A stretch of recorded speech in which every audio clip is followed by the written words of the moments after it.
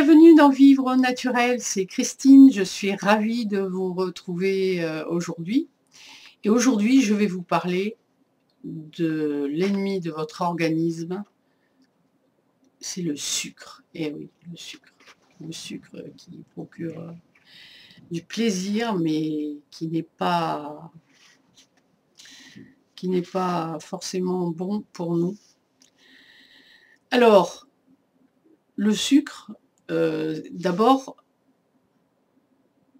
on a des capteurs sur la langue et dans le cerveau qui sont, là pour euh, chercher le sucre dans tout ce qu'on ingère.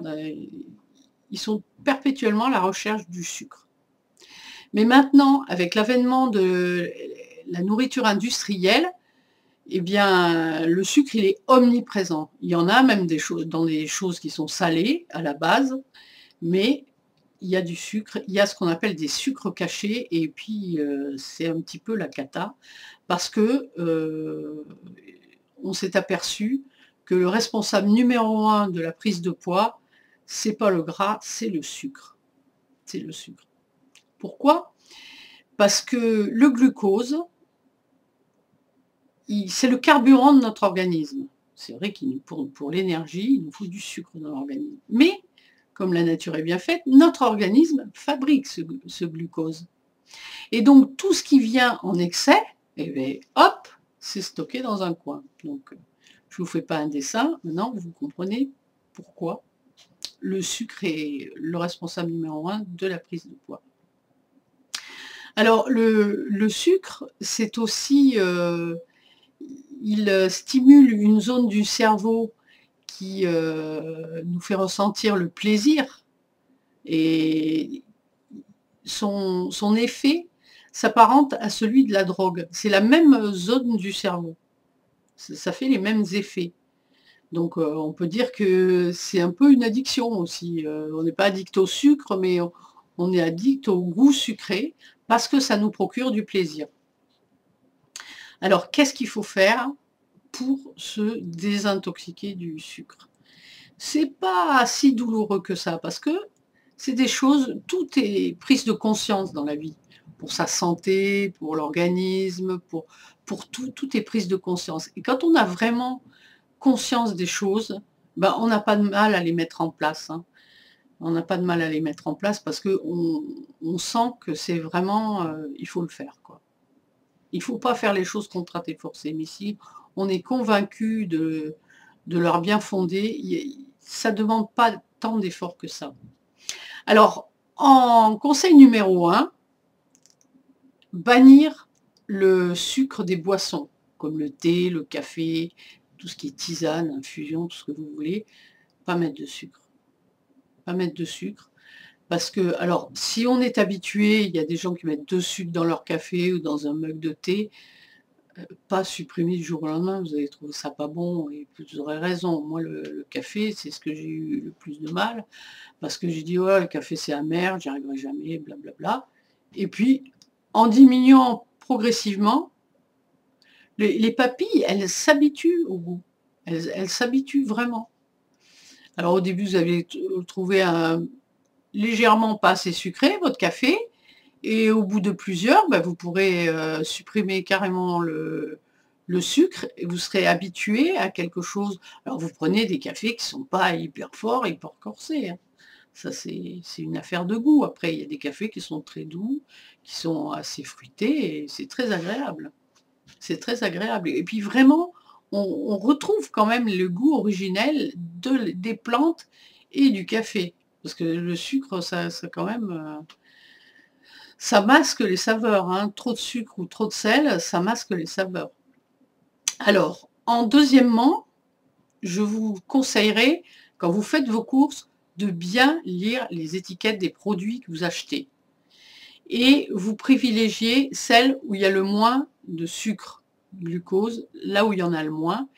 Et vous bannissez celles où il y a les sucres cachés, c'est-à-dire tous les noms en ose, dextrose, fructose, fructose glucose, sirop de glucose, maltodextrine, sucre inverti, enfin tout ça c'est... à bannir absolument.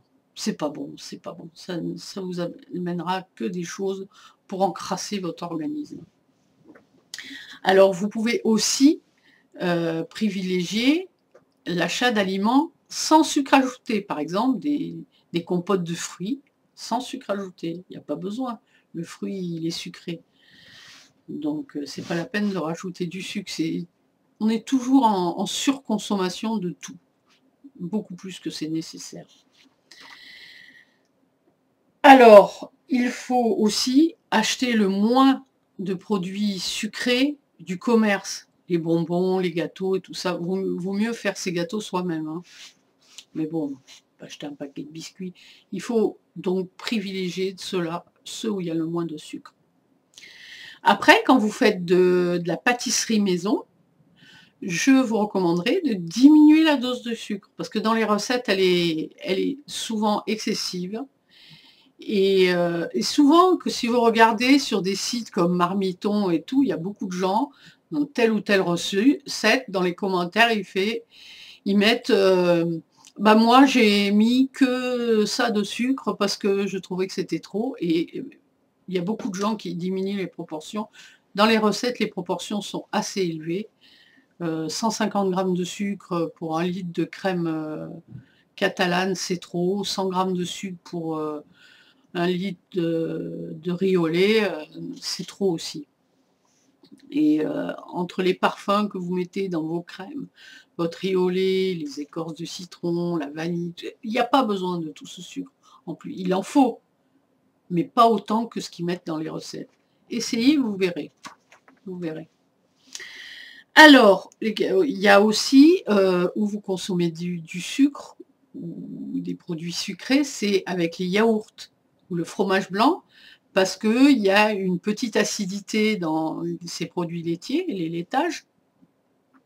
Alors vous pouvez y mettre euh, des épices, de la cannelle, de la réglisse, de l'anis, euh, de la vanille, vous pouvez mettre des zestes d'agrumes, des arômes naturels, et vous pouvez ajouter aussi une poignée d'oléagineux, des noix, des, noisettes, des amandes.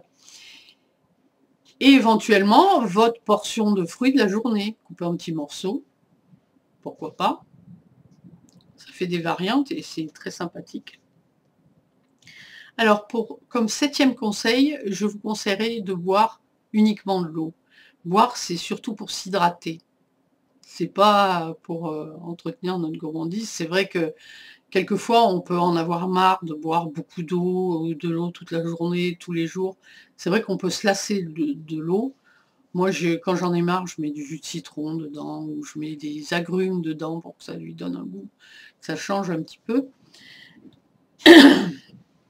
Mais, euh, et je parle pas de soda et autres boissons sucrées, mais de préférence, à des jus de fruits, etc., buvez de l'eau, parce que l'eau, ça passe directement dans les cellules du corps. Dès qu'il y a quelque chose dans l'eau, euh, ça passe par le processus digestif aussi.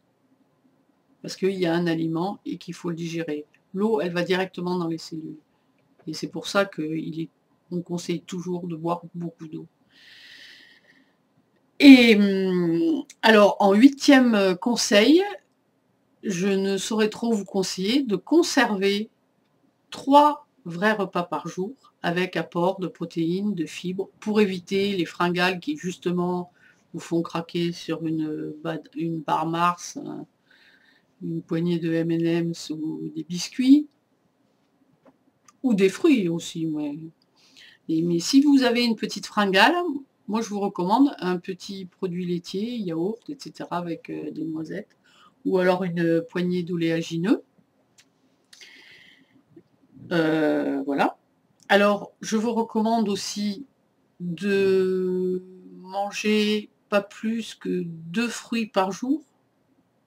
En dehors des repas de préférence, hein, les fruits, euh, je sais pas, on, a l'habitude de manger le fruit à la fin du repas et euh, au niveau digestif, c'est mieux de le manger en dehors du repas ou au début du repas. Mais enfin, comme on commence jamais par les fruits, euh, moi je dirais en dehors des repas.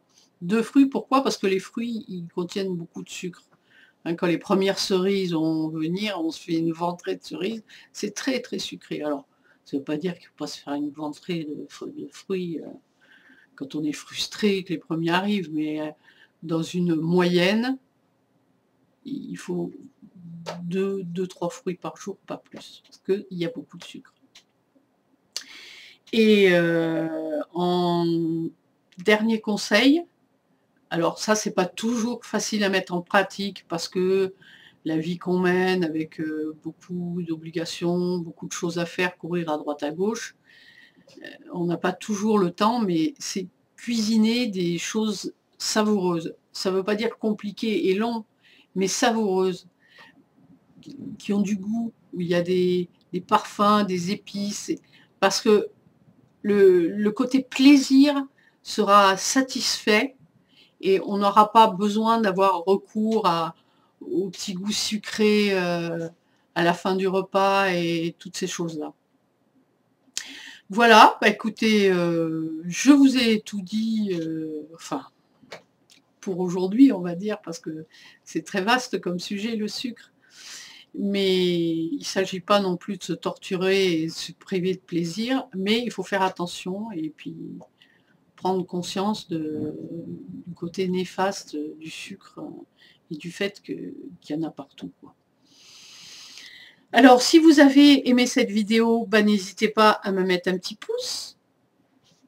Et j'aurai plaisir à vous retrouver la prochaine fois avec un nouveau sujet.